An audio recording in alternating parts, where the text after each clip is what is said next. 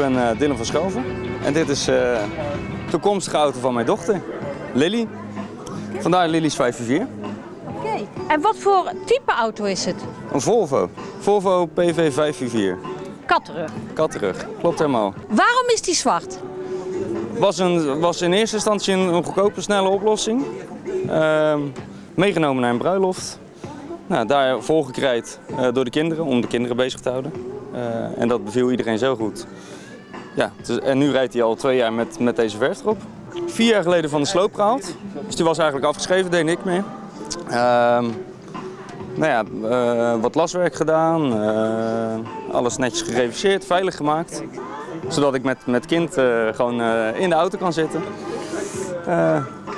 ja, en verder helemaal kaal geschuurd, krijtbordenverf erop.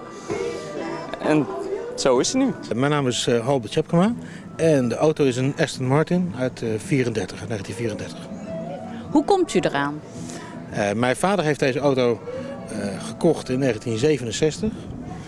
En die, uiteindelijk is die van, dus van vader op zoon overgegaan. En vandaar dat ik hem heb. Het is wel een heel leuk cadeautje. Ja, maar het is ook een zorg, hè? Vertel. dus, nou ja, als je, bedoelt, je moet of als je dit wil rijden, zeg maar, moet je of multimiljonair zijn, of je moet alles zelf doen. En, ik val in de laatste categorie, zeg maar. Wauw! Nou, deze auto's werden in de 30 jaar eigenlijk voor de racerij gebruikt. En dan had je dus, de fabriek maakte dan een aantal raceauto's.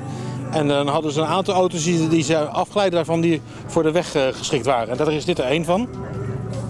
Dus de techniek is, is puur 30 jaar autoracerij.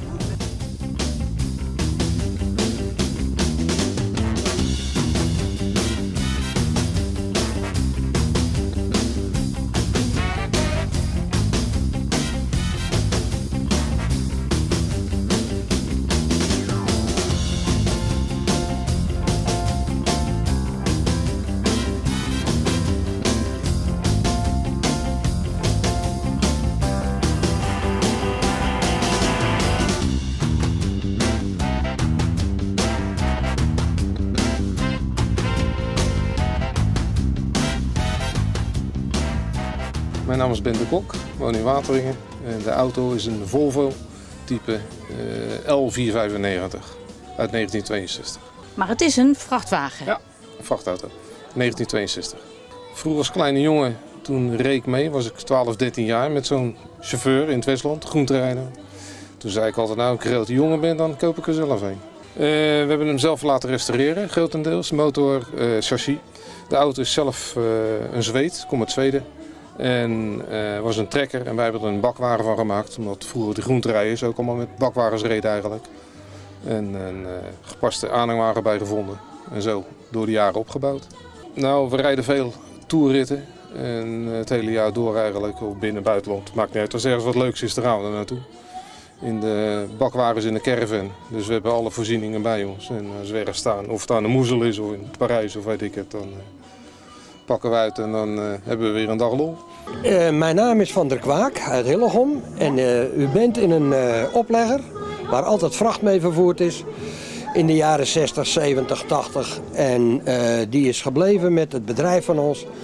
En die heb ik gerestaureerd en opgeknapt en dat is nu mijn auto om shows mee af te gaan. Het is, de truck is een Volvo Titan, 165 pk en de oplegger is een Netam, allebei van 1960. Ja, en uh, ja, mijn vader heeft hem gekocht in 1960, het hele spul, was ik 12 jaar. En ik heb er zelf nog mee gereden op Parijs en diverse containers, ferrytrailers, noem maar op. En nu doen we er alleen nog maar leuke dingen mee, want het is nu een hobbyauto.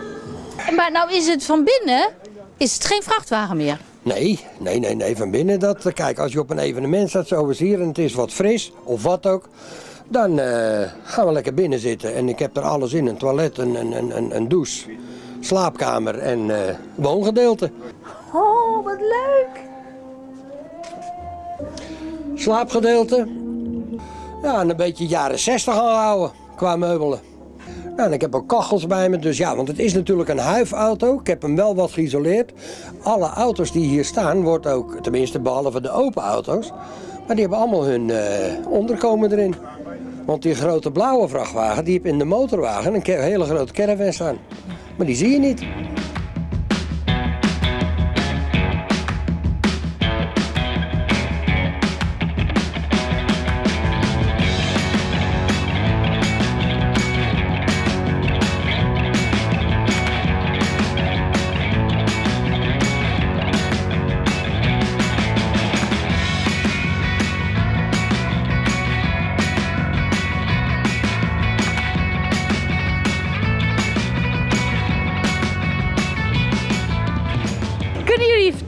Waar jullie van zijn. Waar we van zijn. Ja? Ja, van Zundap Blijswijk.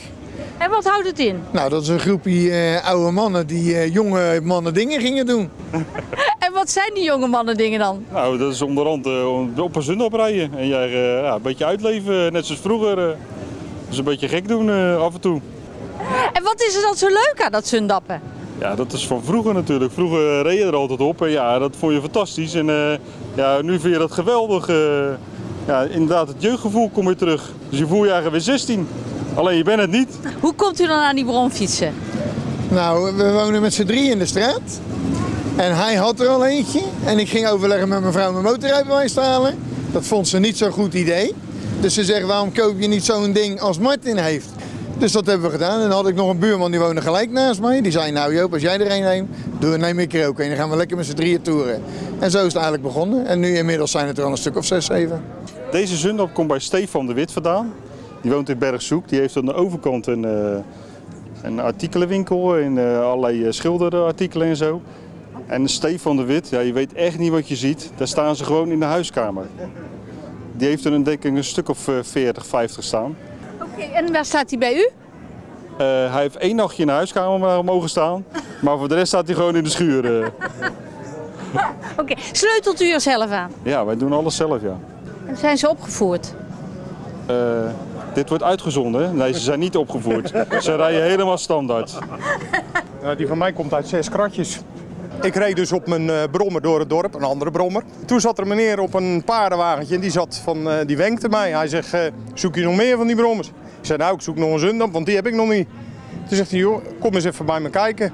En toen mocht ik zes kratten gewoon meenemen en dan mocht ik alle spullen uithalen. En daar is dus is hij uit ontstaan, die tweede rode. Ik ben super trots wat het nu geworden is. Het is ook de brommer zoals ik vroeger naar school ging, alleen de kleur niet. Vroeger gingen we, ja, bouwden we ook al customs. En nu heb ik er weer een en vandaar ja, helemaal, helemaal gaaf. Ik ben Oscar Moljers en uh, we zitten in een Burton. En de Burton is eigenlijk een, een kitcar. En dat wil zeggen dat de body is, van een, is, is gefabriceerd op een bestaande auto, zeg maar. En een bestaande auto is eigenlijk een 2CV, een lelijke eend. In 2003 heb ik een artikel gelezen in de Haagse Courant dat ze eenden konden ombouwen tot een Burton. Dus ik, ben hem, uh, ik heb hem zo laten bouwen zoals ik hem hebben wil, zeg maar. Dus de Burton, dat is, dat is een fabriek hier in Nederland. En het zijn twee jongens die dat model ontworpen hebben. Het is eigenlijk een, uh, ja, een, een, een, een goedkope auto in de zin van, milieuvriendelijk wil ik niet helemaal zeggen, maar hij is eigenlijk gerecycled van een oude auto van nou. En hoe oud is die dan? Uh, in dit geval gaan ze uit van het kenteken, want het serienummer is altijd bepalend voor de auto. En hij is in dit geval, deze auto is van 1966.